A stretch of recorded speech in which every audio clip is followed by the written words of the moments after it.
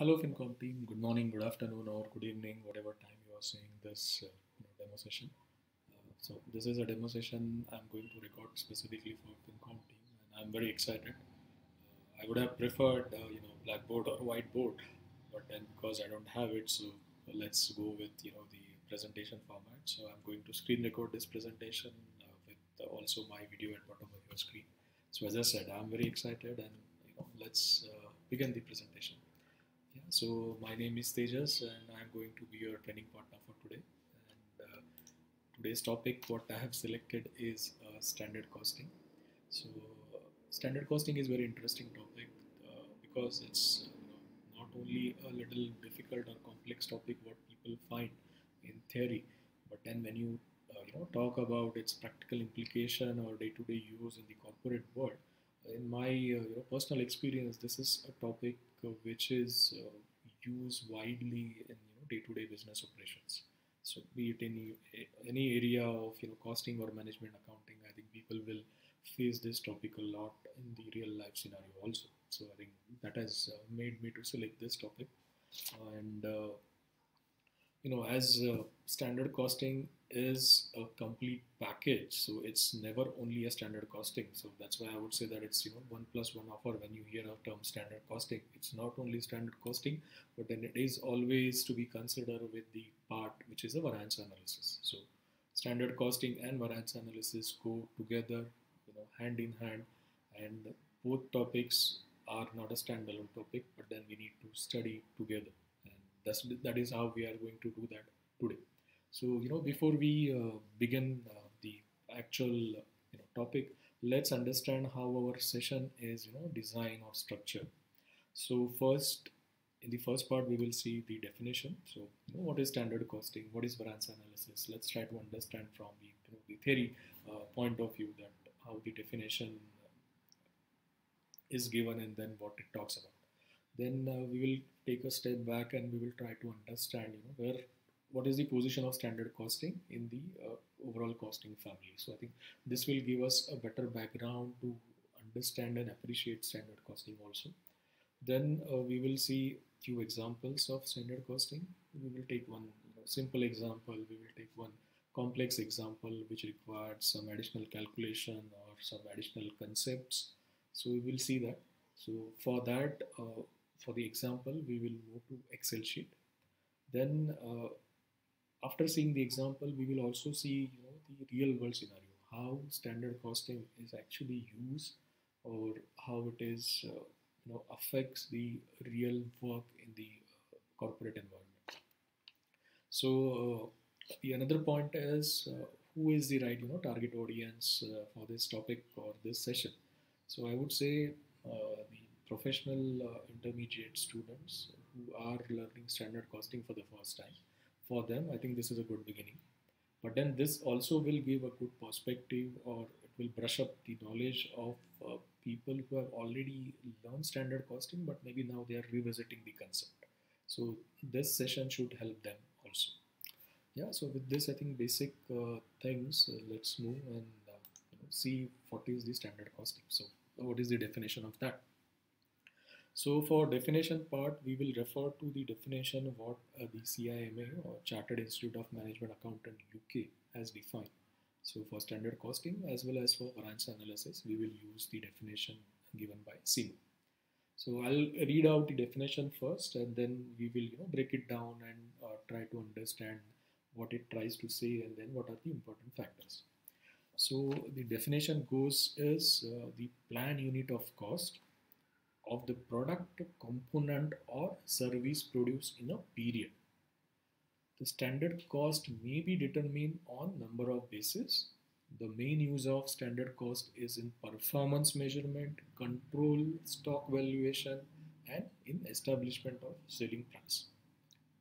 So I think if you carefully read these three sentences, you will see that the implication or application of standard costing is very wide. It is not restricted only to do a costing or calculate a cost, but then it talks about also control, performance measurement, stock valuation, and also in establishing selling prices. So, as I said, the standard costing is a topic or a subject which is related to many areas, and that is why it is very useful. But the key points, what one can understand from this definition is standard costing is something related to plan activities. So, what does this plan mean? So, this plan is basically related to your business plan. So I think everybody is aware that uh, year on year basis organization will do business plan, be it in a you know budget format or maybe doing a forecast or estimation. And then these plans normally will cover from start to end. Uh, the whole business process from how much we are going to sell to how much we are going to produce what kind of headcount manpower is required and then basis on that we will see that what is the profitability for that organization so somewhere standard costing is largely related to this. And how it is related? Because this plan activity is a kind of input for standard costing. Because when you are calculating a standard cost for say maybe a future period, so obviously you will need some data. And we will see how you know standard cost calculation is done maybe in uh, coming slides. So there we can correlate. But then lot of activities uh, are related to business planning so that's why then it becomes a very important activity and that is uh, why i said the in practical uh, job also you will see that many cost accountant or many management accountant or anybody who is you know working in this costing and management area are related or doing activities which are related to standard costing. So i think plan is first important or key point what we learn. So standard costing is derived from business planning. Then the second point what definition talks about or key point of definition is performance measurement. So standard costing is not just a accounting or you know the calculation is done you know what is the cost. It is also used to evaluate the performance. It is also used to check whether the organization's KPIs are met or not. And then that increases the importance of standard costing in multi you know multifold way because it's not only a you know calculation part but then here the analysis part also comes because in, when you measure something you are comparing something and third important point what definition talks about is it's a periodic nature so it's not a kind of you know one time activity where you set your standard cost and then you forget for you know multiple years it's not like that. It is going to be a periodic activity. So maybe you will set a standard cost for a year or maybe a shorter period. But then even if the standard cost is set for one year, you will revisit it on a monthly basis or you know, a regular basis to check how what is happening in that standard cost versus the actual scenario. So three points what we saw was plan, performance, measurement and periodic. So interestingly, now I also realized that if you see these uh, three points starts with P, you know, it's like, you know, 3P of standard costing, like we have 4P of marketing. So maybe we can say that uh, standard costing definition can be easily remembered by remembering this 3P. What are these 3P? Plan, performance and periodic nature of the standard cost. So this is the definition part. I think we will uh, get better clarity when we actually will see the example and in the coming slide, uh, as I said, then we will discuss how it is being used in the uh, real world also. Now moving to the next slide. So as I said, standard costing always comes with the variance analysis. So let's understand the definition of variance analysis also. So variance analysis definition, again a CIMA definition, what it talks about is the evaluation of performance by means of variances whose timely reporting should maximize the opportunity for managerial action. So again, this is very interesting and important definition because it again highlights, you know, uh, very important points or the uh, summary, I would say three points what we need to uh, know, really focus on to understand what variance analysis does. It's a timely evaluation.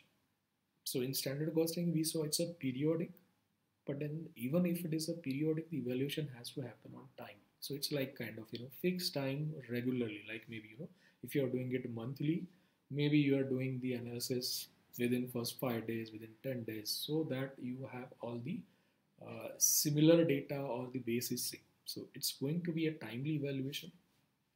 Then it helps you to optimization of opportunities. So it's not only a postmortem, but then it helps you to understand what is happening in the uh, real situation in the organization. Are there any things which maybe you know possibility of doing things in a better way? Because obviously you are comparing here the overall cost, and it is not related to only maybe as we you know earlier saw. It is not only for the uh, production, but then it could be for the various other areas. So uh, that's why it is obviously is a very wide concept, but then the main purpose is to identify the opportunities where we can maybe you know optimize or maximize the current status. And the most important part of the variance analysis is it should lead to managerial action. Because if it is only a postmortem and then you are trying to identify the reason, but then if you're not going to act on that, the situation is not going to change. So that is why the variance analysis helps not only to identify, but then it also helps to decide what should be my course of action. So it's a very important managerial tool. So now with this, I think uh, we now have a basic idea of the standard costing and variance analysis of the definition, you know, what definition talks about it. And then, as I said, maybe uh, here also, if you see it's, you know, easy to remember, maybe we can consider as TOM, so TOM. So maybe 3P and TOM. So timely evaluation, optimization of opportunities and managerial action. That is the abbreviation for TOM. So with standard costing and variance analysis definition, now I think let's move and see what is this variance analysis is all about means what kind of variance analysis we have so here basically uh, again uh, you know the standard because variance analysis can be done in multiple ways because it's a kind of a breakdown of uh, you know identifying the reason or uh, the standard versus actual comparison. What has caused uh, the differences